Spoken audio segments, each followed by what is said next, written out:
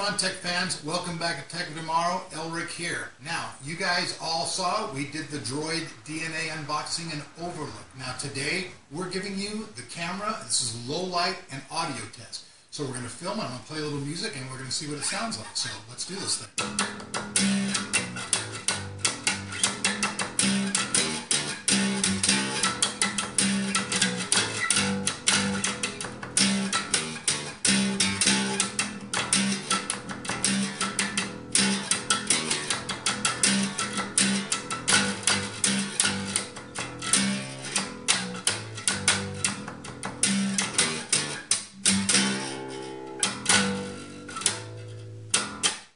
So what do you guys think? We're actually indoors, low light. We figured that most people are going to shoot in this type of environment.